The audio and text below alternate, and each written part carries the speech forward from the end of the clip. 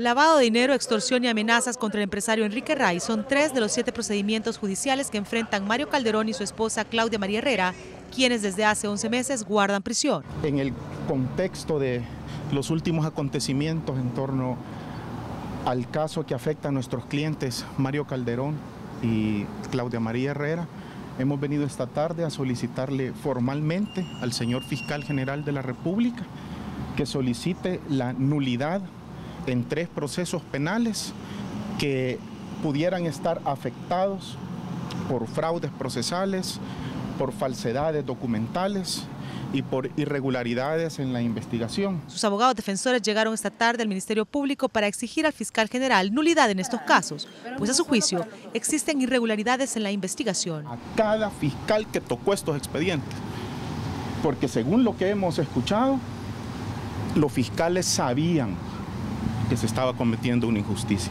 Además, denunciaron que Claudia María Herrera de Calderón sufre de insuficiencia renal y que en los 11 meses que ha guardado prisión su salud se ha deteriorado. Claudia tiene insuficiencia renal crónica avanzada. Ella vive con un riñón y desde que está privada de libertad está progresivamente perdiendo su funcionamiento renal. De hecho, ahorita está hospitalizada, ¿verdad? Tiene, como les digo, 11 meses de estar privada de libertad. Y no solo basta con que el fiscal diga que se han cometido tales o cuales delitos, pero que se traduzca en una libertad para ella, porque de lo contrario podemos tener un daño irreparable. Por otro lado, solicitaron que todos los fiscales y jueces que participaron en este caso sean investigados debido a los recientes señalamientos contra el exfiscal Luis Martínez, el empresario Enrique Raiz y sus colaboradores. Para el noticiero, Ángela Escobar.